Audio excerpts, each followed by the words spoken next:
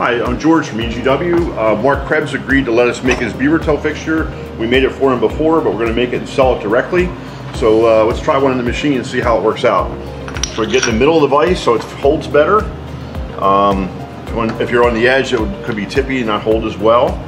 Get in, centered it. We're gonna come over, find out where the Y is to go into the fixture. Gently bring your end mill down, not running. Fine, we're in the hole. We'll zero out our Y. So we're gonna go down to the bottom and touch.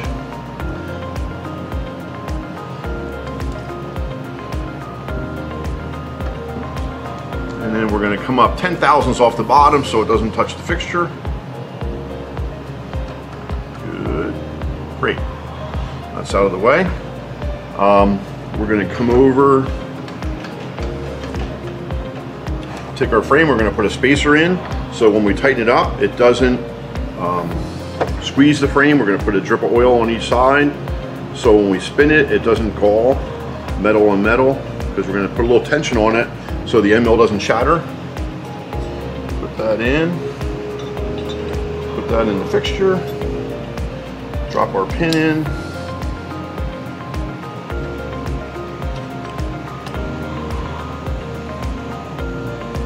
The, the disc up.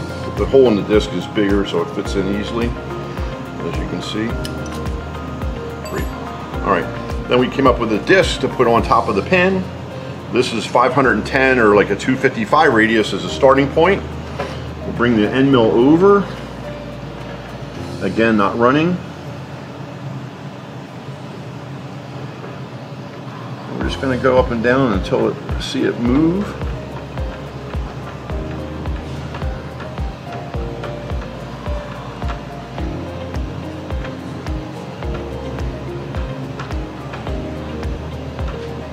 So we just touched the plate. All right, so we know where we are, we're gonna X zero on that, so that's where our disc is. So that's our finish of our cut. We're gonna bring the frame, um, we're gonna set the tension, so right now I can feel it, it's a little free up and down. So we're gonna take this, we change this so we can do this with the frame in place. We'll turn this and just wiggle it until we feel tension on the frame so it doesn't bounce up and down.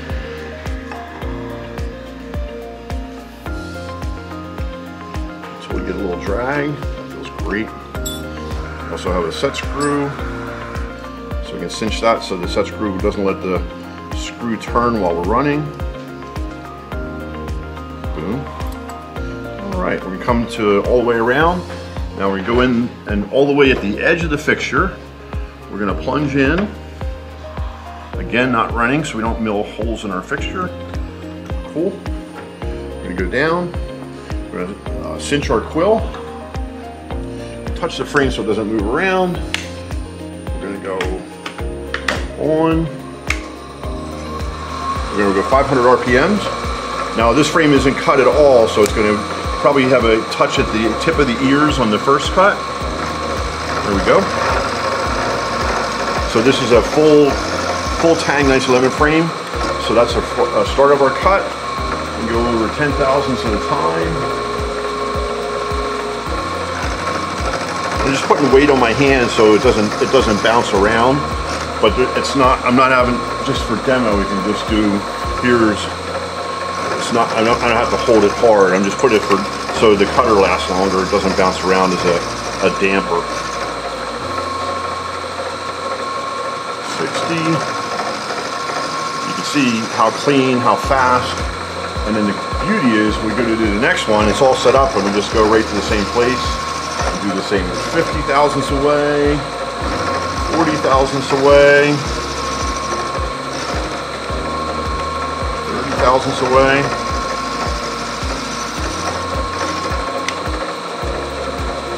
Twenty.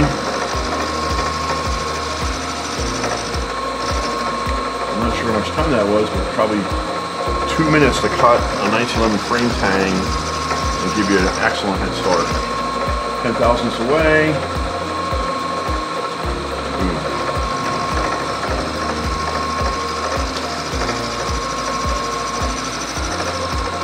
Boom. I'm just gonna go back slow so it doesn't mark it up. Great. Kill it off. Bring our quill out. And And we have all our numbers on our readout. We can go right back to it. So we'll bring this over. We're gonna crack our set screw loose.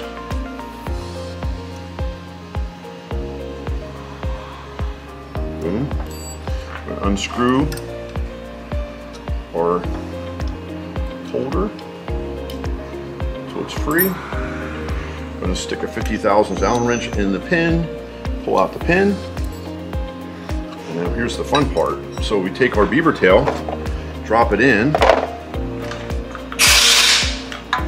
and you can see where we are for a starting point. Radius match on both sides. Both sides are touching, and you can see through the hole, maybe, on one of the cameras.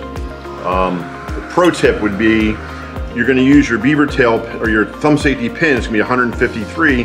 Um, probably won't fit. So you start with a drill bit. It's about 145 thousandths. Put it in the hole. Sharpie the surface. Put it in. Wiggle it back and forth. One side or the other side might be a little high. Uh, file it down just to finish off. But for your starting point, you're in in two minutes what's for fun? It's all set up. Let's see how long it takes to do a second one. You have a, a watch jack?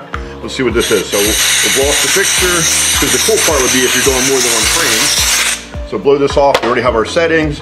Put our frame in. Put our pin in. Oh, we put our spacer in.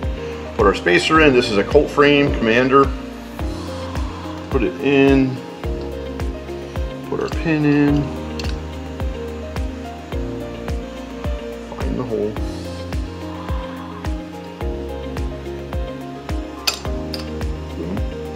Swing it around. Find our tension.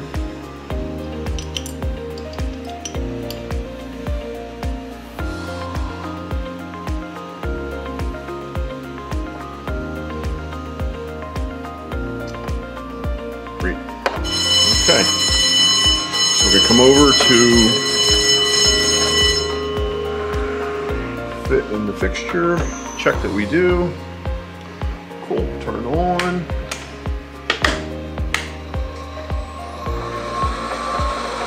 Go down to depth.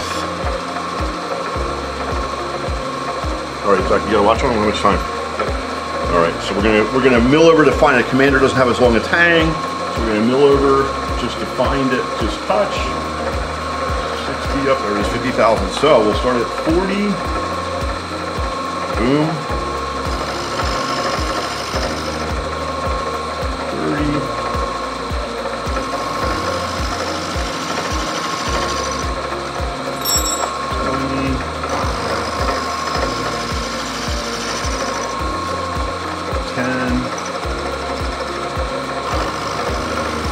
A uh, four flute carbide, uh, 7 8 length of cut end mill, not a high helix, just normal helix. And zero. Boom.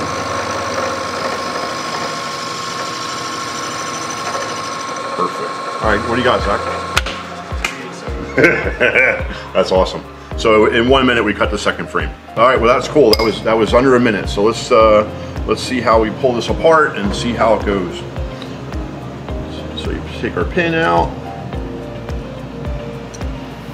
Of course, it helps if we can see the pin. There we go. Perfect. Pin out, and then just take our spacer, pop it out so we didn't crush our frame put this in and we'll just see where we get. Again, starting point, you have to grind your tangs and your sides, but your radiuses are cut in.